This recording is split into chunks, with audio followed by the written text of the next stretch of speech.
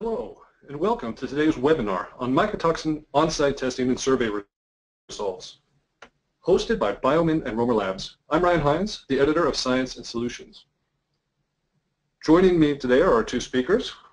First off, I'll introduce Dr. Timothy Jenkins, Product Manager at Biomin. Hello, Timothy. Hi, Ryan. Next, we have Philip Gruber, Product Manager at Romer Labs. Hello to you. Hi, nice to be here. Thank you both for joining us today. Uh, before we begin, I just wanted to point out that both companies are part of Bearberg Group, and they approach the topic of mycotoxins from somewhat different angles. Biomin offers cutting-edge mycotoxin deactivating feed additives and gut performance solutions. Romer Labs specializes in innovative diagnostic, diagnostic testing solutions for mycotoxins and other compounds. I'd also like to remind our listeners that this is an interactive session. That means that you can open the toolbar on the right-hand side of your screen. Therein you'll find a chat function. You can use this to enter questions regarding audio, visual, or technical issues about the webinar platform itself. In addition, you can use the chat function to pose questions to our expert speakers uh, at any time starting now or later on at the Q&A session at the end. In addition, you can also vote several times throughout today's webinar uh, by participating to a poll question. When I announce a poll question, you'll have the opportunity to provide your input in real time. The results will be aggregated here, and I will read those out to you. Let's begin with our first poll question. Poll question one. Have you encountered a problem with mycotoxins in the past 12 months? Yes, no, or maybe. Now, while our listeners are selecting their answer, uh, Timothy, would you please remind us about the relevance of mycotoxins to the feed and livestock industries? Thank you, Ryan, for your kind introduction. Mycotoxins are toxic compounds produced by fungi. Many types of fungi produce mycotoxins, and when they infect crops or stored feed, there can be an issue indeed for animals. It's well known that mycotoxins can cause some pretty severe visual symptoms at high doses, but beyond those obvious symptoms, there's an effect on performance and susceptibility to, to diseases. And so the overall cost to the livestock industry is really in the billions of dollars each year. That's a cost to feed producers, processors, and of course farming operations. All right, thank you for that uh, reminder. The voting is now closed. Thank you for all who participated. Uh, what we have on screen in front of us differs a bit slightly from what you have in front of you. Uh, these are the March 2016 results when we asked the same question in a similar forum. Uh, and as we can, as I see here, unfortunately we can't provide the real uh, result numbers in front of you today, is that 63% say yes, that mycotoxins, they have encountered a problem in the past 12 months. 19% say no, and an identical 18% say maybe. So we see that not much has changed in a year's time. Uh, now, the Biomin mycotoxin survey, the annual study, has just wrapped up, uh, and it covers over 16,000 samples of finished feed and single commodities that have been sourced from 81 countries. Timothy, could you tell us how the worldwide survey results compared to the poll results from our audience? Well, this, this answer fits with what we see in our annual survey. I should point out, though, that in many cases the effects of mycotoxins on animal performance can really be hidden. Uh, maybe it's made the animal more prone to a disease and the disease gets the blame rather than the underlying factor which, or factors which could include mycotoxins.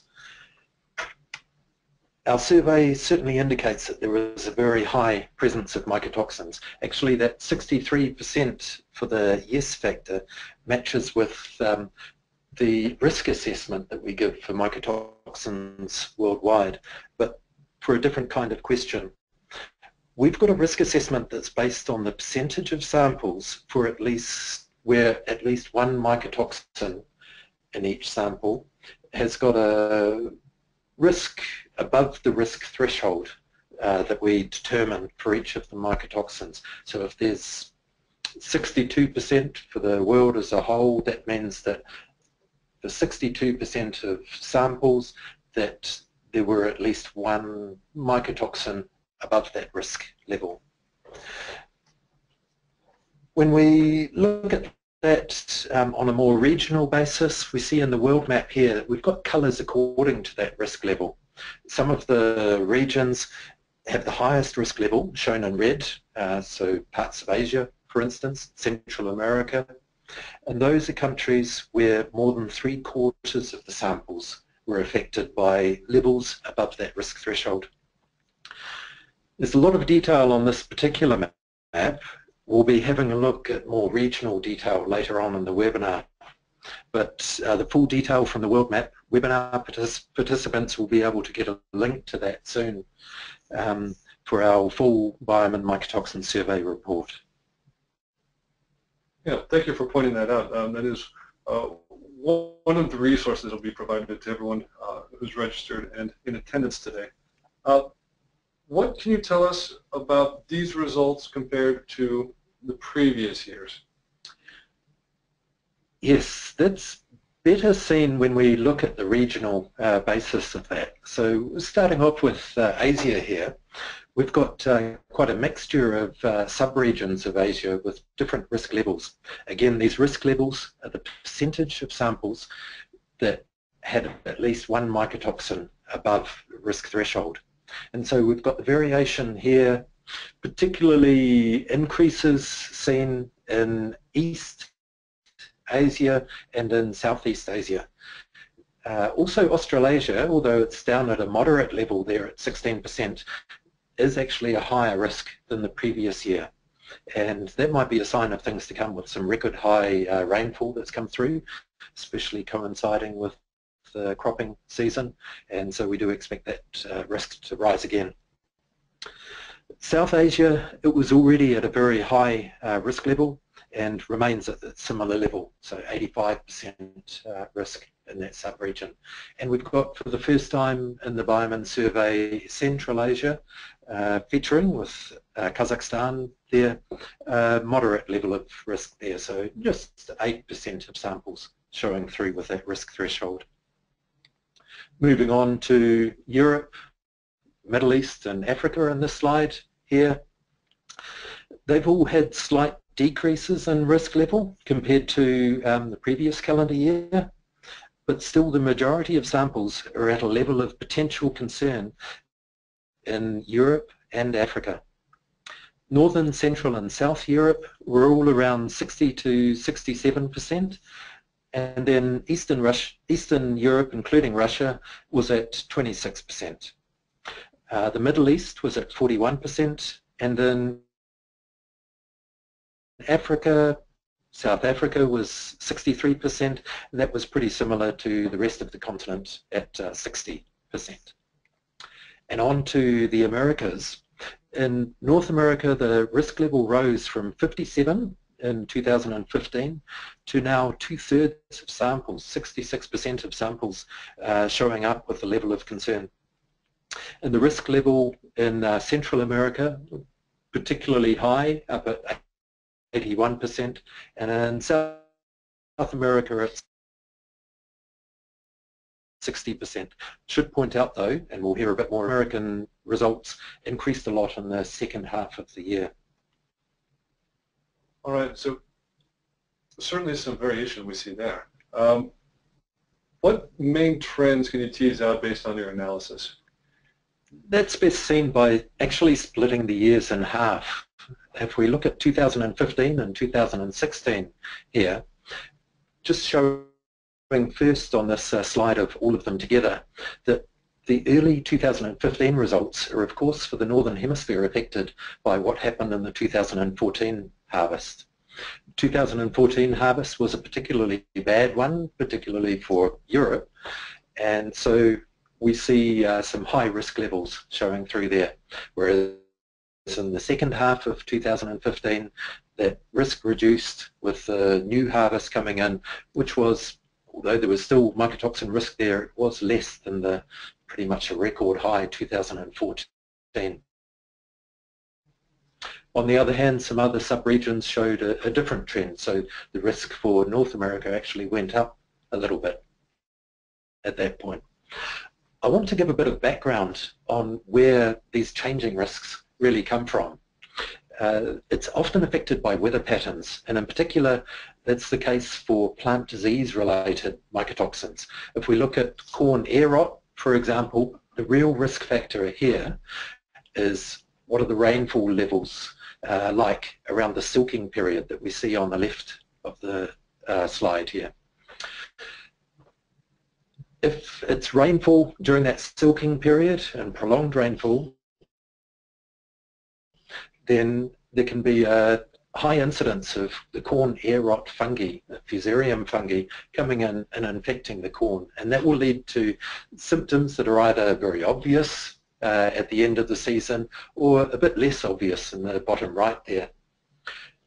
Those fusarium fungi, they're going away doing their business. Even if you can't see them with very obvious symptoms, they're producing the mycotoxins. In this case, deoxynivalenol, DON, uh, zearalenone, ZEN, and fumonisins as well. Fumonisins, their levels will tend to be higher if the temperature has been a bit higher in that build-up to harvest. Moving on to another one of the major uh, plant disease, mycotoxin producing diseases, that's cereal head blight, so affecting wheat, rye, barley and triticale, typically in pretty similar ways. On the left here we see early maturity uh, cereal here with the typical signs of cereal head blight with the bleaching of the heads on the right-hand side, we see the end result. So these are grains that have been affected by the uh, Fusarium fungi. It can be a very obvious pink colour showing up, uh, but it could also just be simply more shriveled grains showing through. The risk factor for cereal head blight is rainfall around the flowering time of cereals, so that's typically going to be uh, quite a bit earlier than the silking period of the corn. And that can explain why in the same year you might have in one region high risk for cereals, but uh, maybe not so high for corn showing through, or vice versa. If we slip back to the semester slides, looking at the half years of 2015 here, from January up until June, the effect of that relatively speaking, lower risk 2015 harvest is still seen um, in Europe and um, some of the other regions here we can also see as we move into the second half of the year that there's an increased risk with the new harvest coming through. Some of those increases uh, that we saw then for Europe, it's on average going from 45% in 2015 up to 64% in the current uh, harvest that's going through, so that's second half of the year. Um, increases were also seen in Southeast Asia, going from 70 to 76%, East Asia uh, going from 84% up to 88%, Australasia uh, going from 8% to 24%, uh, South Africa going uh, a big increase here from 45% up to 73%. And in South America, it was actually a doubling, essentially, from 37% right up to 74% risk. This is largely related to um, weather conditions, such as that rainfall, flowering of cereals, or the silking period of corn, or rainfall at harvest. But also drought can have an effect as well, affecting grain quality leading to increased storage issues. And so some of the storage mycotoxins, more ones like aflatoxin, um, can become more of an issue. Temperature also affects the production of mycotoxins. Generally, we see a trend where deoxynivalenol is more common in the cooler temperate regions and aflatoxin more common nearer the equator, taking advantage of those warmer conditions. T2 toxin kind of related to deoxynivalenol. It's another trichothecene, a type A trichothecene, actually produced by some of the same fungi, but only when the temperature is particularly cool. Uh, T2 toxin typically showing up at 15 degrees Celsius or less. Um, and so a response to cooler conditions in a certain region can lead to a bit of a lift in uh, levels of that. So in Russia in particular, although we're just showing a, a lower risk than in the um, earlier half of the year, the risk of T2 toxin has increased somewhat. And uh, it's shown up as more common. And uh, yeah, that cool season toxin, it's not as common and not as high a concentration typically as the type B trichothecenes like deoxynivalenol, but it is particularly potent. So one to watch in those cooler regions. Absolutely. Uh, and you've already evoked a, a number of the con conditions that really influence the mycotoxin patterns in, in, various parts of the world. We've already seen plenty of questions coming in. Uh, please continue to do so, listeners, uh, to use that chat function, and we will open up the Q&A session later on. Uh, but for now, Timothy, I have another question for you about the findings. Uh, is there anything that stands out in particular uh, regarding a specific feed ingredient or a mycotoxin that looks particularly harmful? We did uh, select a few things to uh, watch out for. Here we've got um, highlights uh, from the Asian region. It was really a broad mix of commodities and uh, and mycotoxins as well showing through there, including uh, Afla more in the uh, South Asia, uh, Southeast Asia area. In Europe, the particular particularly standing out result was uh, a very high level and risk of deoxynivalenol in cereals. Sharp increase in that prevalence related to all the rainfall that many European regions had around that flowering time of cereals. In the US, there was an increased risk in the corn harvest and um, that included a particular rise in the prevalence of fumonisin there, as well as some higher levels of deoxynivalenol and uh, zearalenone um, showing up. Over in uh, South America, one of the standout things was the turnaround in the results for soybean. Soybean went from a crop of relatively low risk compared to a higher risk crop like corn into actually having a, a higher risk than corn in uh, some regions of South America in 2016. This was related to some very wet conditions around harvest in uh, many of those regions. Okay. Uh, now we have our listeners today have dialed in from countries around the world uh, and they're involved in uh, swine, poultry, ruminant production. Who should be most concerned about these latest findings? Let me go through that on a regional basis as well. Um, we've got uh, for each region in this map that shows the sub-regional risk. So that risk being the percentage of samples for which there was at least one mycotoxin above the threshold level. We've also got on this slide the grey bars on the right-hand side, and that's showing the percentage of samples that had that mycotoxin detected for these six main mycotoxins, Afla, aflatoxin, zearalenone, Zen, deoxynivalenol, DON, T2 toxin, fumonisins, FUM, and ochratoxin A, OTA there.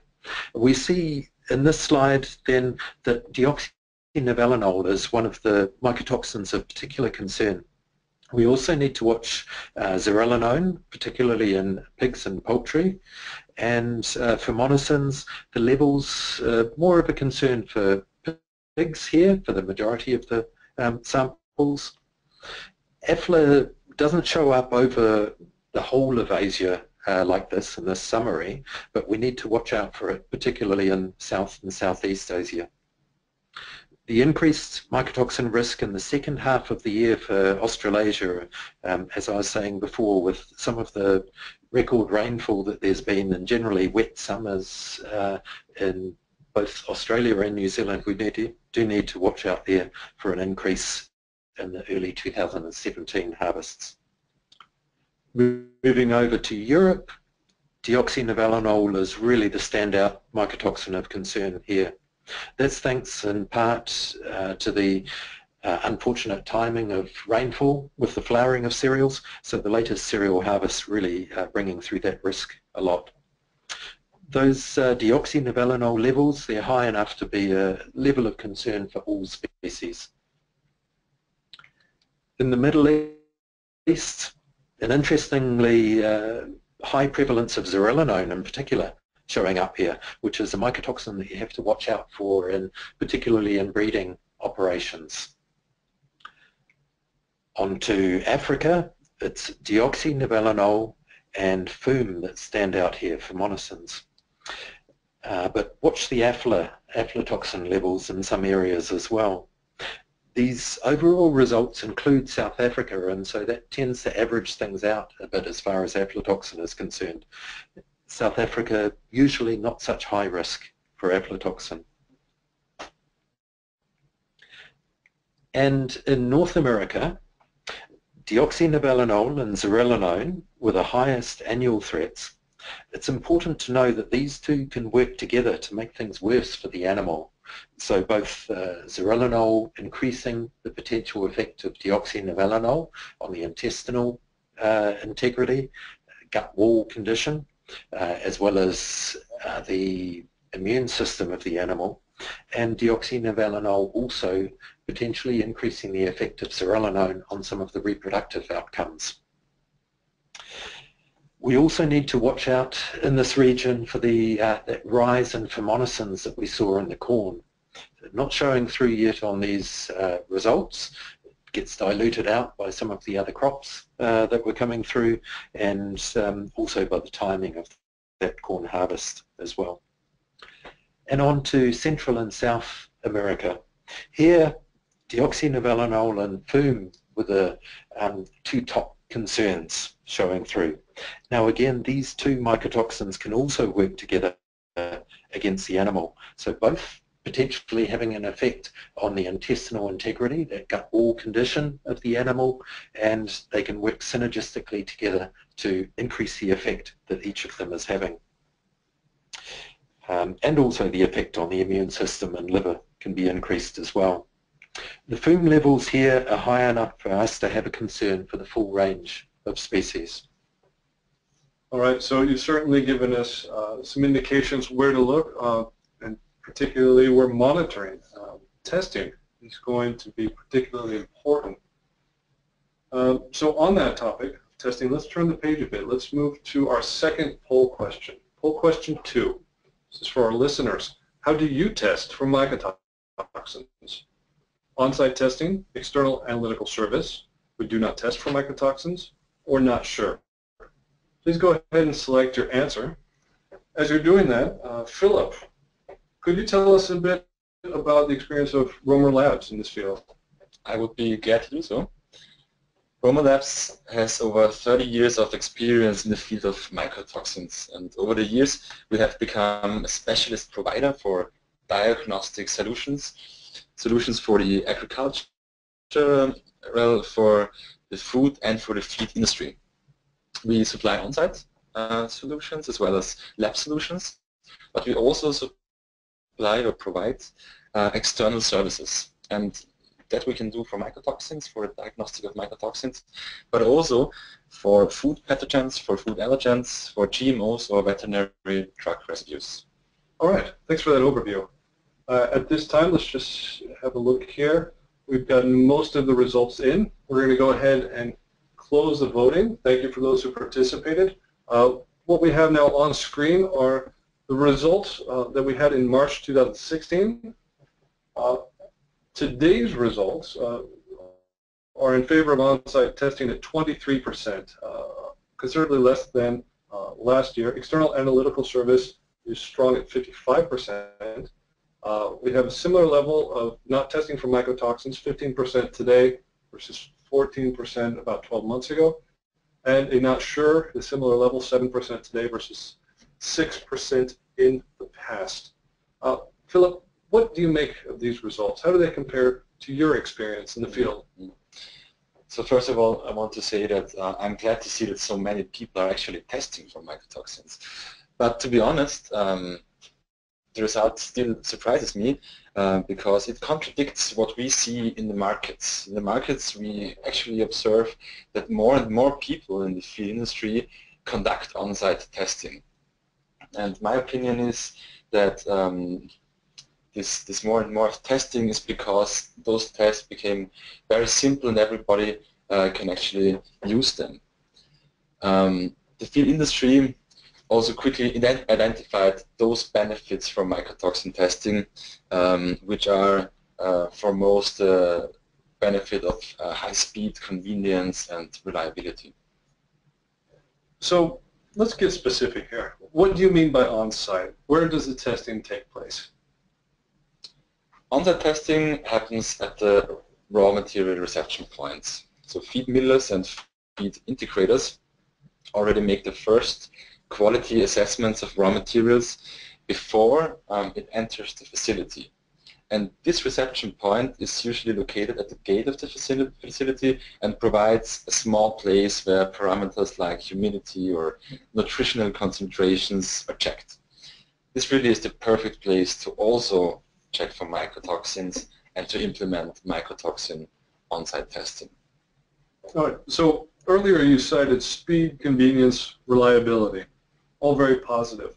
Uh, how easy is it for someone who's new to this uh, to start doing on-site mycotoxin testing? I can tell you it is very easy. Basically everybody can do it. The setup is very simple and fast. You need um, all you need is a room with a standard power supply. Everything else can really uh, be provided by representatives of Romer Labs. The handling is very simple as you need only a few procedural steps to conduct the testing. You can learn it within, I would say, half an hour. You don't, you won't need more for that. Um, when completing the tests, you get straightforward results, which can easily be documented. On-site testing basically um, consists of three simple steps. The first one is the sample preparation. Second one is the analysis. And the third one is result documentation. Now, obviously, this implies that we already have a representative sample. So let me briefly talk uh, about that before we jump into the testing procedure. Of course, go right ahead. Sampling is not specific for on-site testing. It is crucial for any kind of mycotoxin testing as 88% uh, of result deviation actually come from sampling. The main objective um, of sampling is to get this representative sample. What does it mean? Samples used for analysis should have the same average concentration as the entire 50-ton truckload. The challenge here is that the sample used for analysis is very small. So we usually um, handle a sample of, of about 10 to 50 gram only. Some regulatory bodies like um, USDA or European Union have um, established recommendations on how to do sampling most efficiently.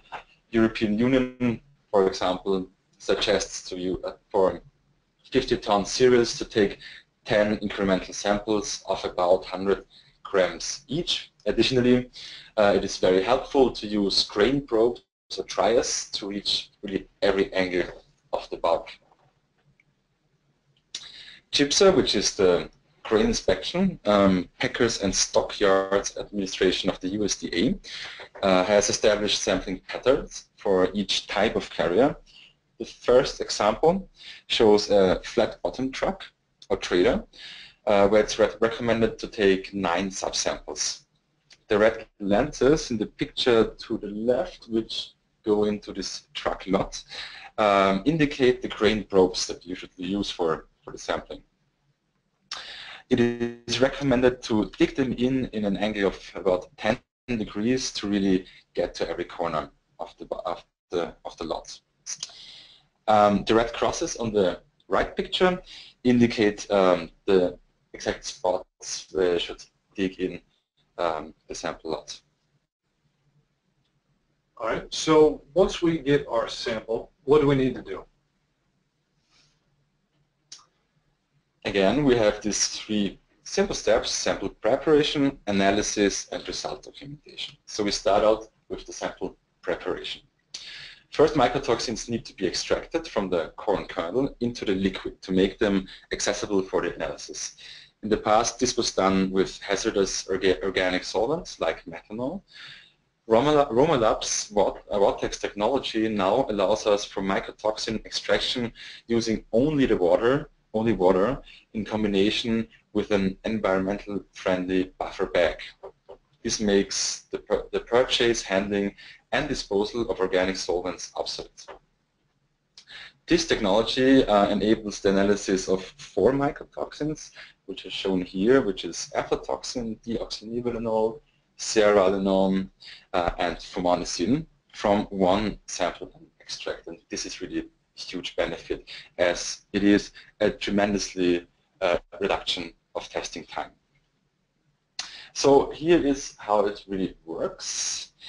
You simply add your sample, a buffer bag, mm, and bottled water. That's enough. You don't need distilled water. Bottled water is enough. In a filter bag, shake it and let it settle. Filter and buffer bags are provided with the kit, so there's no need to purchase anything extra. Um, because the Whirlpack provides an integrated filter, there's also no filtration or centrifugation step possible, uh, necessary.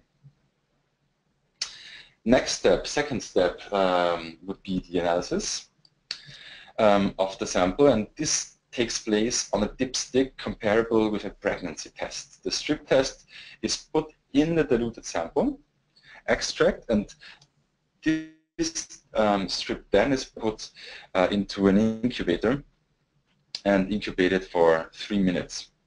The analysis is completed after these three minutes and the results can be quantified within seconds. Last but not least, uh, we read out the results and document them the display shows concentration values like ppb, which allows you to easily assess the quality of your raw material. Results can also be documented by printing them out with the AgraVision printer, or you can, or you could uh, transfer the data to your computer. There is an extra software which is called the AgraVision Data Viewer, and this allows you to store the data in a very efficient way by saving them in Excel format or uh, as a text file. This whole procedure that I just described won't take you longer than 10 minutes. So less than 10 minutes and you have your results. All right, so that's where we get the rapid testing. It's right in the name. Exactly.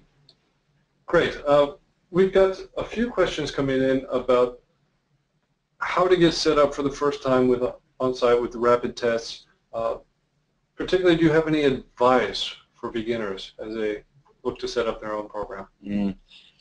I want to point out two pieces of advice, two things.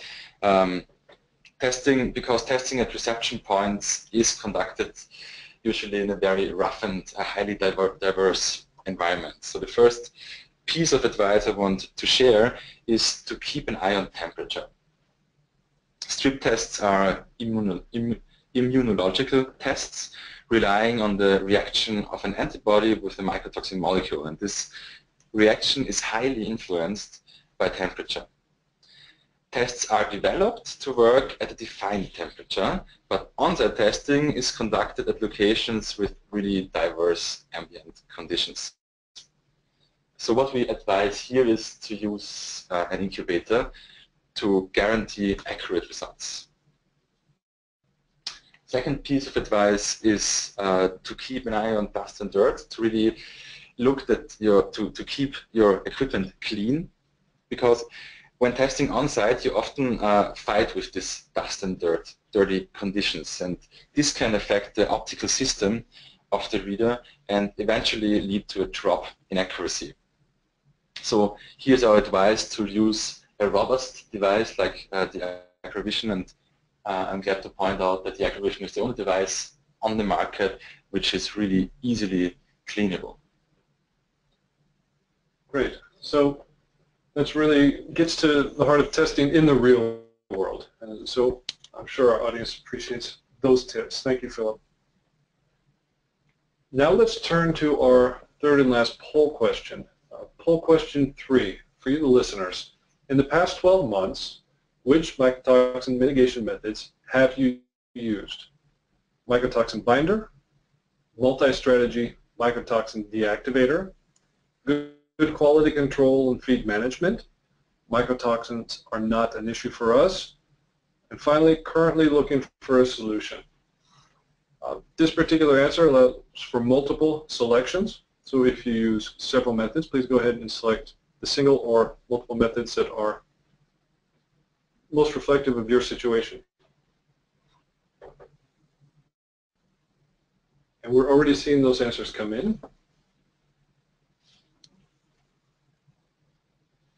And we have strong response. I'm already going to start on last year's numbers as an indication. So here's what we saw in March 2016. We saw mycotoxin binder at 45%, multi-strategy mycotoxin deactivator at 29%, good quality control feed management at 44%, mycotoxins are not an issue for us at 9%, and currently looking for solutions 16%. Those were last year's numbers. Let's turn now, close the voting. Thank you again for your input. And I will read out today's numbers from this session. And in fact, what we see is that these numbers are broadly similar. So in terms of mycotoxin binder, 43% today, multi-strategy deactivator, 25% today, good quality control feed management at 44% today, same as last time. Again, 9% for mycotoxins is not an issue, and now 20% of our listeners are currently looking for a solution. Uh, Timothy, what do you make of these results? Thanks, Ryan. It's, it's good to see that people are choosing uh, some multi-strategy mycotoxin deactivator there. As far as the binder approach goes, I'd say that um, even if you select a proven and reliable binder, you've still only solved part of the problem. The most common mycotoxin, for instance, in our annual survey is deoxynivalenol, and that's not able to be reliably bound. We need to add on a couple more strategies to my mycotoxin risk management to really address those less bound mycotoxins. Great. So what are these other strategies? In Biomin Mycofix, we combined three strategies, biotransformation, adsorption, that's the binding component, and bioprotection. Biotransformation is the power of microorganisms and enzymes to reliably and rapidly break down mycotoxins. Adsorption, it's getting the right binder for those bindable mycotoxins. And bioprotection, and that's protecting the liver and immune system from the effects of mycotoxins. We have the science and the European Union decisions behind us to provide assurance of the efficacy of this product. They're not just certificates of efficacy though. Each component, um, by virtue of the certificate, is proven to have gone through a full process of uh, safety and specificity testing as well. If we start out on the binding component, switch to the slide again, for adsorption, the right choice of binder is indeed very important. In our range, we have a specially selected bentonite that's been proven by going through the full process of the EU authorization that included all that rigorous testing, not just in the laboratory, but also in real farm conditions. In particular, the specificity is important. Being very specific and effective is crucial because it means being able to achieve good results at strategic levels of product so that you don't reduce nutrient uptake or interfere with uh, veterinary medicines. The biotransformation parts of Mycofix, up the top here, they include uh, the specific enzyme, Fumzyme, for breaking down of fumonisins uh, Biomin BBSH 797, for example, for addressing all types of trichothecenes. So that's including the deoxynivalenol and T2 toxin that we saw earlier. And we've also got very effective and proven uh, control of zearalenone levels from the biotransformation component also. Part of achieving the EU authorization for the biotransformation aspects was proving that the approaches are effective at degrading the target mycotoxins and that what they are degraded into are compounds of low or no toxicity. Biomin leads this technology worldwide thanks to a true commitment to research and development. There was good news already this year with the components, uh, Biomin BBSH 797 and Fumzyme, both receiving positive opinions from EFSA for use in poultry. This adds on to the authorizations uh, that were already in place for swine. Biomin remains the only company to have achieved this important EU authorization in the uh, biotransformation of mycotoxins. Great. So clearly an effective tool in mycotoxin risk management. Uh, if we go back to the earlier information you presented about the survey results, what do those tell us about the choice of strategy that makes sense to adopt on the field? The survey results show fluctuation that's not always easy to predict. With different mycotoxins, and often several mycotoxins at once, increasing the risk to the animal, and with some of the most common mycotoxins being poorly bound, the survey results really highlight the importance of a scientifically valid approach to broad mycotoxin management that includes this proven biotransformation.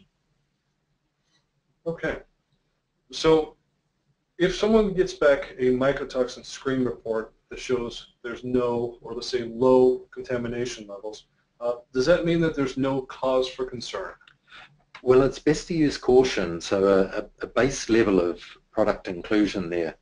As Philip mentioned earlier, sampling is a very important aspect and it remains possible that the sampling has missed the problem area of the feed or that some components of the feed were not being tested. The testing may also miss some mycotoxin types or forms, including masked ones that were not tested for.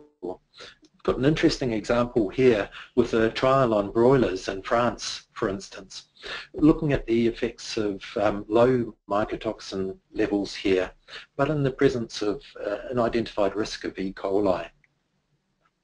The levels of mycotoxins were much lower than the regulatory or guideline limits, and yet uh, they included uh, a mix there, type B trichothecene, so like deoxynivalenol, fumonisins, and zearalenone. And when we got the results of the use of Mycofix Select on these broilers, the final weight result gave a 4.3 to 1 return on investment here.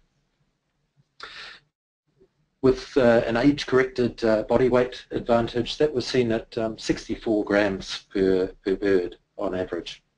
There's also more and more literature that establishes the effect of mycotoxins below those regulatory levels. Here's the results of uh, a combination of um, DON and FUM were in fact even the, the my, mycotoxins by themselves were having an effect despite being below regulatory and guidance levels um, on the level of lesions that were showing up in the liver and also in parts of the small intestine. The control shown here in grey, it showed very few lesions uh, whereas DON in blue and FUM, fumonisins, in purple, cause lesions in the liver and the intestines. Uh, liver lesions were markedly worse when the combination of mycotoxins was present. It's shown in green here. Uh, we need to be concerned about this multiple occurrence of mycotoxins and those potential synergistic effects. In some other research, in this case looking at vaccine response, again with mycotoxins below the regulatory and guidance levels. We saw an effect of mycotoxins reducing a response to a vaccine. This slide shows the development of antibodies, the anti-ovalbumin, uh, IgG, in response to um, that second uh, vaccine injection shown with the red arrow there. So after, after that point, antibodies started to be produced. The control in grey, with no significant mycotoxins present in the feed, that had very good antibody development. But to some extent, DON in blue and more clearly FUM in purple reduced vaccine response. Again, the worst response was with the presence of both deoxynivalenol and fumonisin together. On the subject of multiple mycotoxin occurrence, and also that analysis may not always be picking up all the mycotoxins present, um, here are some results from our Spectrum 380 analysis. In 2016, over 1,380 feed samples were analysed in this advanced LCMS-MS method that measures over 380 mycotoxins and secondary metabolites. On average, 28 metabolites uh, were found in each sample. Nine out of 10 samples had fusarium and or aspergillus toxins detected. Um, and 94% of samples had more than 10 metabolites present in that one sample. These are the sort of things we need to consider with low or even no levels of mycotoxins showing on a feed test result. Mycotoxins that weren't tested for, multiple mycotoxins present at once, and interactions between different mycotoxins, the effect on disease susceptibility, and the effect on vaccines. We also need to be aware of that general effect that mycotoxins can have on intestinal conditions. It may not be obvious from the outside, but can really affect animal performance. All right, you've certainly highlighted a number of issues related to presence of mycotoxins, both at low levels and, and multiple occurrence. Uh, thank you for that. Now we've had plenty of questions flood in. Uh, we're soon getting to our Q&A session, but before we do, I'd like to point our listeners to a couple of resources where you'll find more information on these topics that have been presented. Uh, the first is the MycoFix app, which you can get on your mobile device uh, for both Apple and Android. Uh, it's a free to download app that will keep you up to date on the latest Biomin mycotoxin survey results. It also contains information on the effects of mycotoxins in animals. Uh, so go ahead and pick that up. Secondly, if you go to romerlabs.com, you'll find further information on the Watex product line, which Philip has presented, and the sampling guide, uh, which is a quick way to get started with your own sampling. Great. Gentlemen, let's take a look at some of these questions. We won't get to all of them today, but we can certainly tackle a number to round out our hour. And Philip, I'd like to start with you. Uh, since the launch of Watex for Fumonisins, this new test kit. Um, what kind of response have you seen on the market?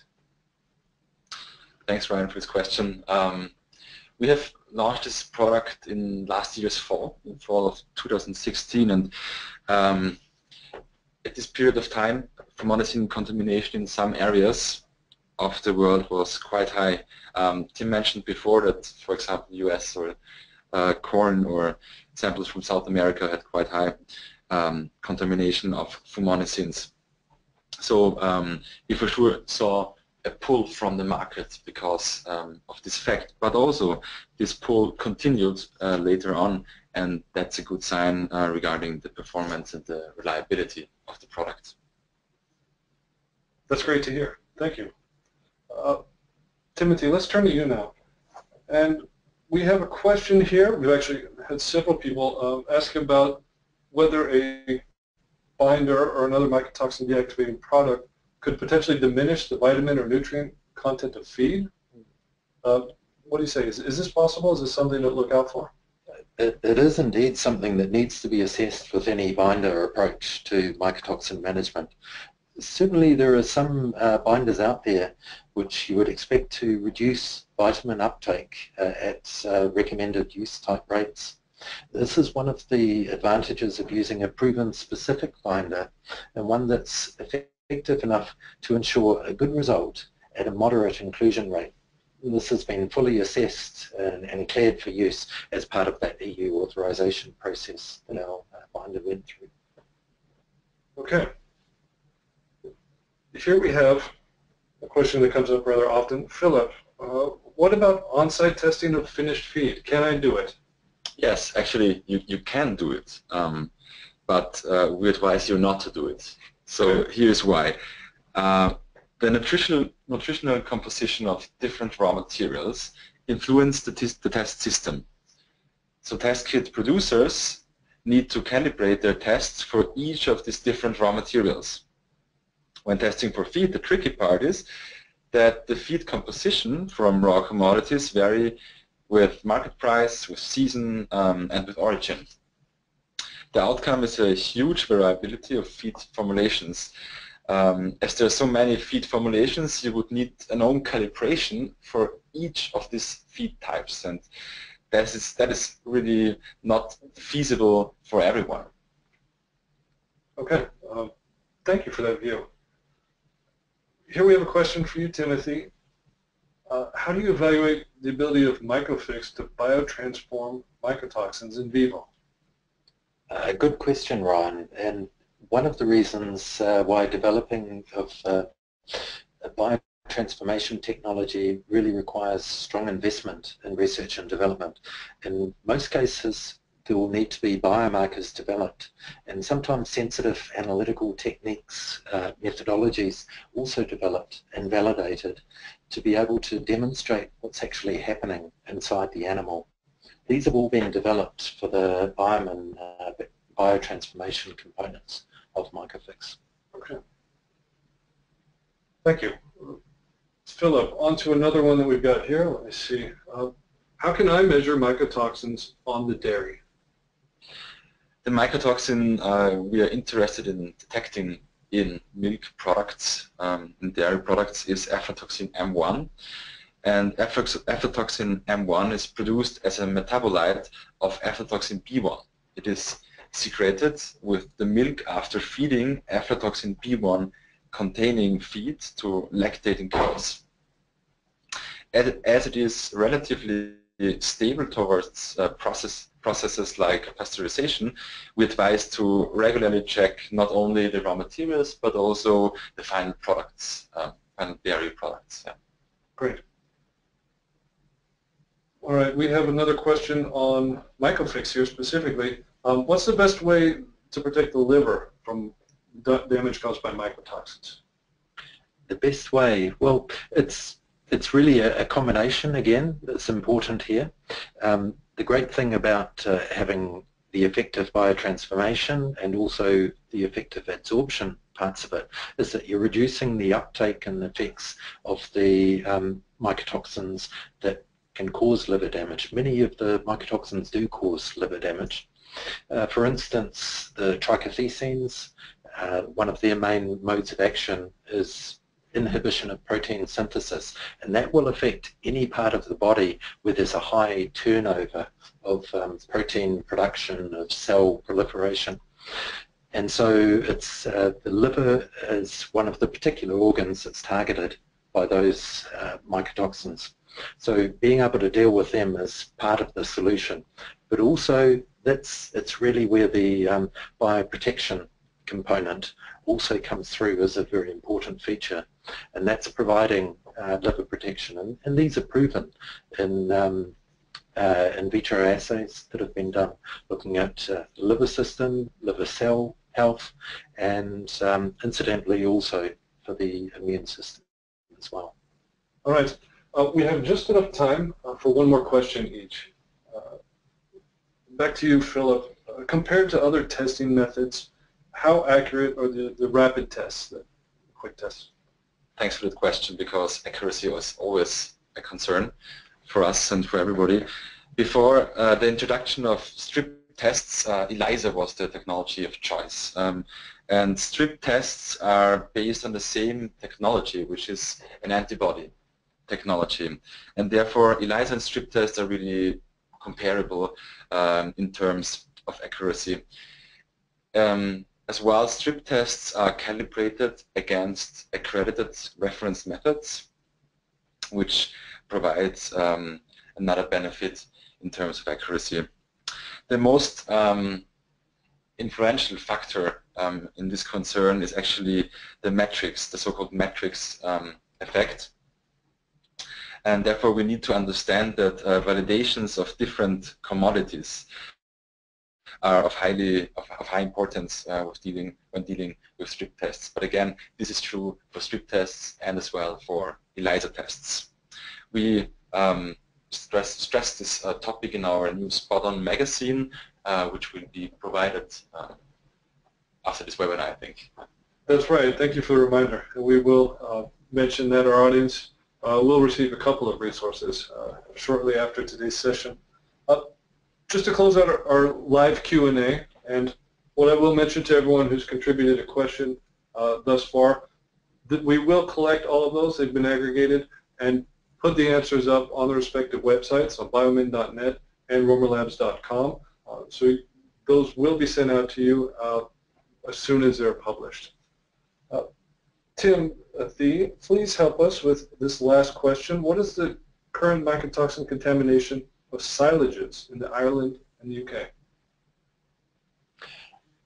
Okay, so I'll, I'll answer that specifically first. So with um, corn silage in particular that was showing up from uh, the UK and Ireland, the levels of deoxynivalenol were um, in about one-third of cases at a level of concern. It's not too surprising that because that is based on raw ingredients. Typically with the uh, deoxynivalenol and other type B trichothecenes we expect the level to remain pretty similar from the harvest of the crop through the ensiling process.